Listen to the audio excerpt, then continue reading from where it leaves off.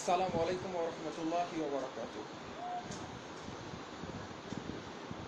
পয়লা বৈশাখ চোদ্দ তারিখে যে ঘটনা ঘটছে, সে বিষয়ে আমি যারা ফেসবুকে এই নিয়ে অনেক ভিডিও আপলোড করছেন, অনেককে অনেক তিরস্কার করেছেন, তাদের বিষয় নিয়ে আমি কিছু বলতে চাচ্ছি। এক আপু বলছে যে, কেচুলা আপু, শুনেন।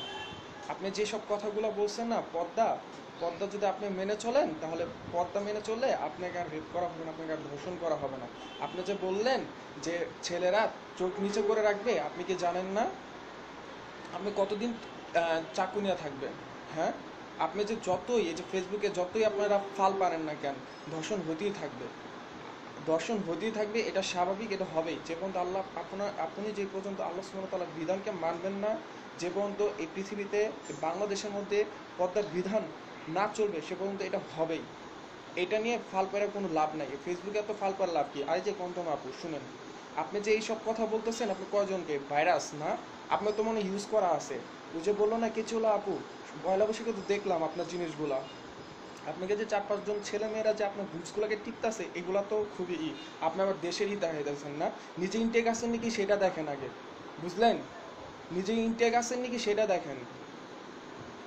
আরেকটা কোন আপু? um, শুনেন। বিষয়গুলো তখনই সমাধান হওয়া সম্ভব যখন আল্লাহ ওয়া তাআলার বিধানকে আপনি মেনে চলবেন। পদ্মার বিধান যখন চলবে পৃথিবীতে কায়েম হবে তখনই আর ধর্ষণ এখানে দেখবেন। না। আপনি দেখেন না। আপনি দেখেন, ইন্ডিয়া দেখেন, এই যে বলতেছে স্টপ রেপিং স্টপ রেপিং এই যে বলতেছে ধর্ষণ বন্ধ করো, ধর্ষণ বন্ধ করো, ধর্ষণ বন্ধ করো, লাভ কি?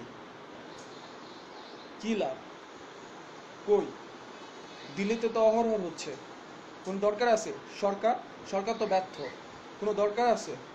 ওই পাঁচজনের রেপ কেস করছে, ফাঁসি দিয়ে দিছে। একের পর এক হইতেছে।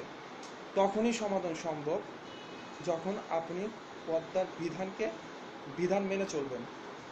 আপনি সৌদি আরব দেখেন, দর্শন হয় খুবই কম। কারণ জানে, তারা তিরিশ বার ভাইবা দেখে, আমি যে কাজটা করব, আমার কি হবে সেটা আগে সে ভাইবা নেয়।